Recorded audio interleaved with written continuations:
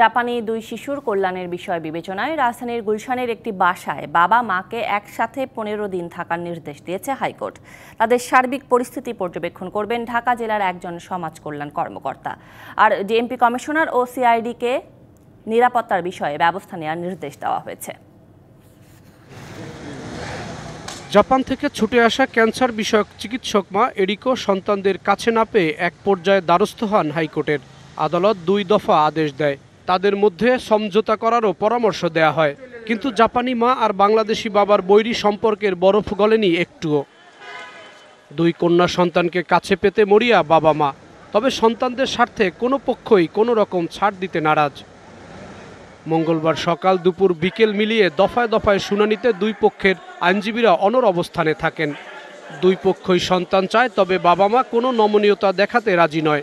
এমন পরিস্থিতিতে বিচারপতি এম ইনায়তুর রহিম ও বিচারপতি মোহাম্মদ মুস্তাফিজুর রহমানের হাইকোর্ট বেঞ্চ গুলশানের একটি আলাদা বাসায় বাবা মাকে সন্তান নিয়ে পনেরো দিন একসাথে থাকার নির্দেশ দেন।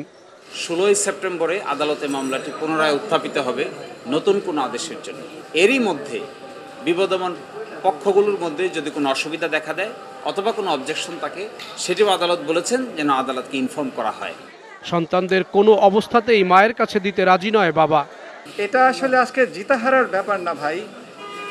এটা আজকে আমি আমার মেয়েদেরকে যে দেখতে পারব এখন থেকেও রোজ, সেটার আনন্দ আমি আপনার কি বলব বলেন? আমি একটা শান্তির নিঃশ্বাস ফেললাম যে আমি আমার মেয়েদেরকে আজকে হারাইনি।